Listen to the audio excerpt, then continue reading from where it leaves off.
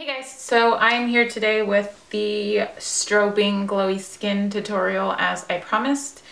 And uh, I briefly, I posted a picture to Instagram a couple of weeks ago and everybody went nuts and asked what was on my face and what was on my skin. So I figured I'd just do a tutorial on how I created that look. What I had on my face that day was the Glossier products. Now, if you haven't heard of the brand, it is created by Emily Weiss, who is also the founder of Into the Gloss, uh, which I've been a fan for years. I've been reading that website. I've been on it for ages. And when she created the line, I was so eager to try it. I call it like, you know how wardrobe you have your basics like your leather jacket, your boots, you know, your essentials. That's how I feel about this line. Like everything is just base essentials and perfect for the everyday girl like myself. Now Glossier was kind enough to give me a coupon code for you guys and I will put it down below. Uh, you get free shipping and a free little uh, Balm Dotcom with any purchase that you make. So the code is good until September 30th. So which is why I told you guys to wait. And if you wanted to buy something, now's the time to get it because you get one of these little guys, which I will talk about briefly. Now, I cleansed my skin and I used their moisturizing moon mask, which all you do, it's a cream, you put it on for 20 minutes, allow it to just soak in and do its job and then wash it off, rinse it off and it's extremely hydrating. It plumps up the skin really nice and I absolutely adore the cute little packaging on it. Now they do have a priming moisturizer and I've spoken about this briefly, like I mentioned it in my favorites and stuff. I've been using it since I got it, but it's 10 times better than the Embryolisse. I much rather prefer, I prefer this one. So just gonna take a little bit of that and really work it into the skin. Now the big, uh, I should say feature, the main thing that I give this look down to are their skin tints. Now this makes me think of like MAC Face and Body. It has that same watery base texture, but something in this, like I don't even need, I don't need to set this with powder.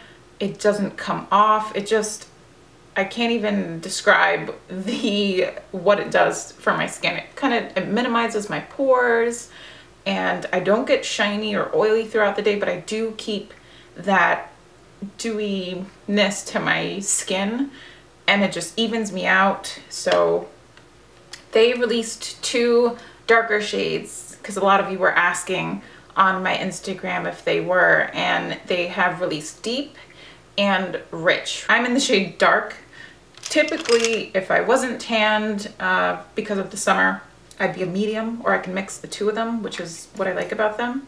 But you have to really shake it up. And I've been using the Sigma, what is it, the 3D HD Kabuki brush. And one, I'm using it so I don't get my fingers dirty in this video, but I do like the way this buffs this into the skin. So I just literally paint it on like this onto my face. I find that that's the easiest way to just get it on my skin without making a mess.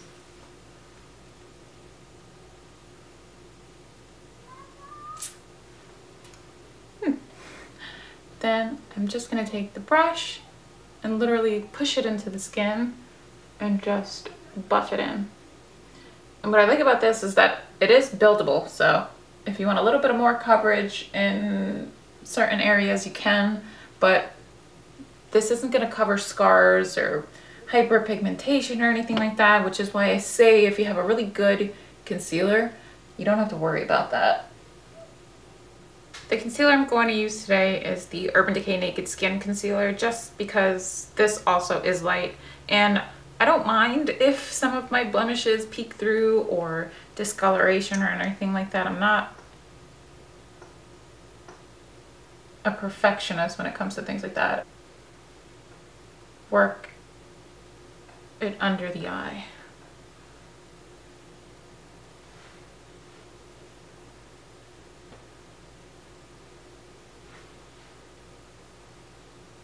Now for some added definition and not, it's not very stark, but I'm gonna contour slightly with the deepest shade and this is in the shade Rich. I'm gonna shake that a little bit. And what's cool about this is because it has that small squeezy tip tube, I can really get in, you know, the hollows of my cheeks without overdoing it. So draw a stripe like that, which looks scary, but you're gonna take that kabuki brush and just work it in.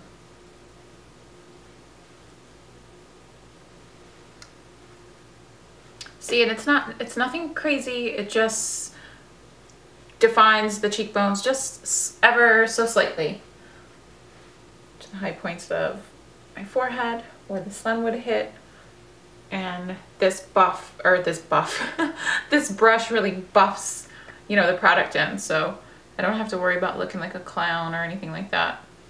Okay now that the skin is somewhat finished I'm just gonna let it settle for a little bit and apply some of the Balm Dotcom on my lips. Now this you can use it I use it on my cuticles. Uh, it's perfect for when you have dry patches and you know you don't know what to do and you're in a pinch but mainly it's been my lip balm of choice. And they also do, here I'll show you. They also do a coconut version, which is, it smells amazing. But then this is the unscented version of it. So now that day I didn't really do anything to my eyes other than curl my eyelashes and apply some mascara. So I'm gonna use my Shu Uemura or Umura, however you pronounce it, I'm not sure in this tiny little mirror. I should have brought a different mirror. But I'm just gonna curl my lashes. And the key here is that you want them to look as natural as possible. Now for mascara, I'm gonna use the Maybelline Full and Soft Waterproof Mascara, which I use probably since I started YouTube, I think. I love this mascara and I've tried so many different ones and nothing, it just doesn't compare if they do clump together, I have this lash comb from Sephora. Uh, I know they sell them everywhere for like a dollar, even like the plastic ones. I'm gonna use the NYX brow pencil or the micro brow pencil. And I'm just gonna brush them up because that's how I wore them in that picture. And kind of shape them a little bit, but The more natural they look, the better. That's why I said I didn't really fill them in all too much. Like I have a sparse area up here, but that's pretty much it. I'm gonna go back to the skin and I did a lot of strobing and this is the uh, Becca Shimmering Skin Perfector in Opal. And this is that sample pot that I had, but I just put it in this Chanel pot that I had laying around so it wouldn't dry out. But I'm just gonna take it on my middle finger and literally put it on all over my face. My nose, on the cupid's bow, on the center of my bottom lip,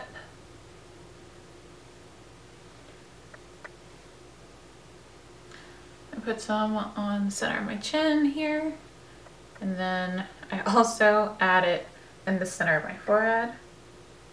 Whatever I have left on my finger, I just blend that into almost like a triangle shape right here. And then right here at the high points of my brows, like over top, I add a little tiny bit as well.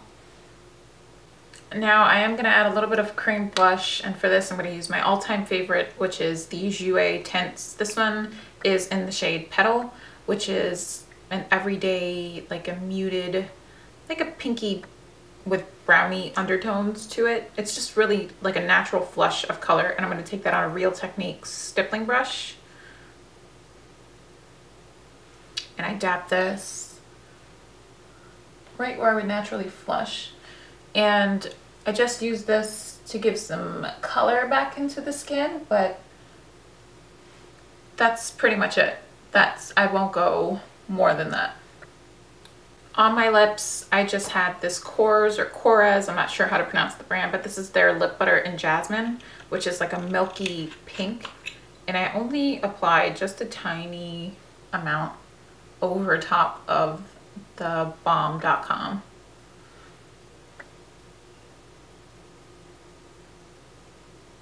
So once that's all done, I go in with their Soothing Face Mist, and this is a rose water spray. One, it smells amazing, and two, it just sets everything. And it's just so refreshing. So I like to pop this in the fridge and just when I, I take it to the pool with me or something like that, but even as like a midday refresher. So this is the final look. It literally takes me like five minutes to do and these products are so awesome that I can just do this and not worry about touching up throughout the day. I will toss the rose water spray in my bag with me and just spritz it if I feel like I need things to mesh well. But even as throughout the day, it wears even better, to me at least, the skin tint. Stay tuned for next week's uh, videos and I will see you then. Bye.